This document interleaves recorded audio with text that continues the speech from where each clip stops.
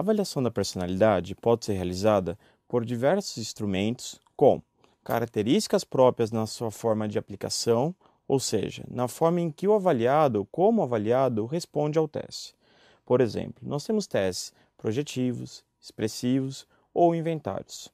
Alguns desses instrumentos, o avaliado ele vai ter que fazer um desenho, contar uma história, né? ou em outras situações, ele vai acabar é, respondendo a um questionário com perguntas e respostas.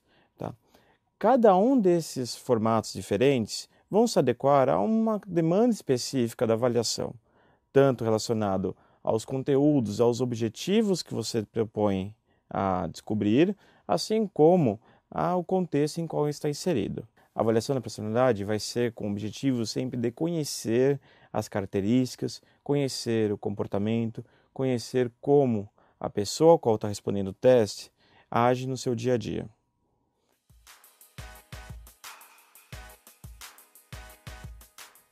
O NeoPR é um instrumento de avaliação da personalidade. Foi desenvolvido na década de 90 nos Estados Unidos e hoje ele já está presente em diversos outros países, inclusive aqui no Brasil. Ele é baseado na teoria do Big Five, ou seja, na teoria dos cinco grandes fatores da personalidade. Essa teoria provém da teoria do traço, a qual descreve os traços de comportamentos como disposições gerais e preferências, tendências ou estilos de comportamento. Essa teoria traz que todas as pessoas possuem essas cinco características da personalidade. As diferenças individuais vão estar presentes na intensidade com que cada pessoa vai ter de um ou outro item.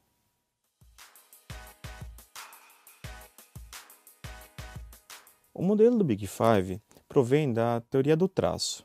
Os traços pressupõem é, comportamentos, estilos e preferências de cada uma das pessoas. Esse modelo pressupõe haver cinco grandes grupos chamados de fatores ou domínios, por isso mesmo a gente fala Big Five, ao qual determina o nosso comportamento. Esses domínios, esses fatores, são comuns a todas as pessoas, ou seja, o que vai caracterizar as reações individuais de uma pessoa diferente da outra pessoa é a intensidade com que cada uma das pessoas tem de um domínio frente a que a outras têm dos demais.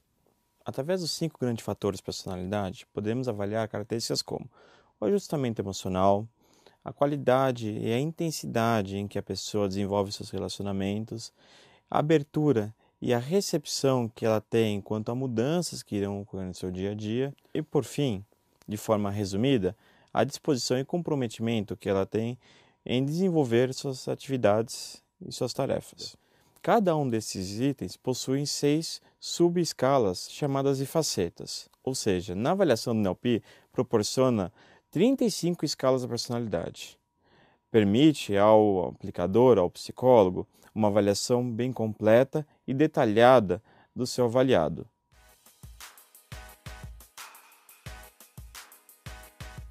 Mesmo o NLP possui um número de, de questões um pouco maior do que outros inventários, o tempo médio de eh, aplicação irá ser entre 20 a 30 minutos. Irá depender muito do avaliado, se ele tem domínio leit da leitura, se ele tem facilidade com interpretação de texto e o comprometimento que ele está em responder o teste. O NeoP também possui uma versão resumida chamada NeoFFI, ou seja, tem um número bem menor de questões, um tempo de aplicação mais rápido, em torno de 15 a 20 minutos, porém, os resultados serão mais limitados aos cinco grandes fatores. Ele não permite que a gente faça avaliação dos demais escalas chamadas as facetas. Você poderá optar entre um ou outro instrumento de acordo com a necessidade da sua avaliação. Se você necessita de uma avaliação um pouco mais detalhada, em que você irá entrar em questões mais específicas ou não, ou se a avaliação será um pouco mais breve, voltada a questões mais globais.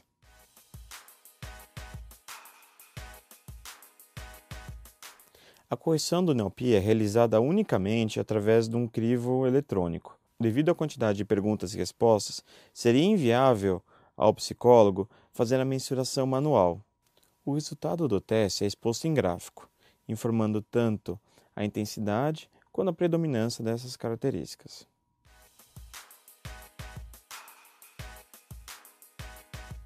O teste NLP pode ser aplicado a pessoas com idade entre 18 a 60 anos, de ambos os sexos.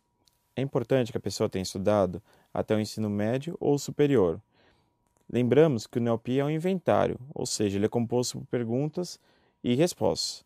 A pessoa tem que ter um domínio da leitura e interpretação adequada de texto para conseguir responder os instrumentos.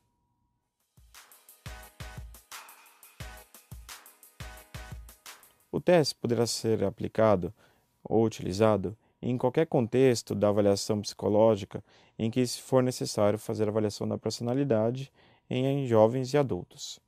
Devido à quantidade de informações que ele proporciona, pode ser utilizado tanto no contexto organizacional, como por exemplo a seleção de novos colaboradores, desenvolvimento, coach, como por exemplo em avaliações clínicas, em que você queira fazer conhecer um pouco mais o seu paciente, que você queira conhecer um pouco mais alguns aspectos da personalidade.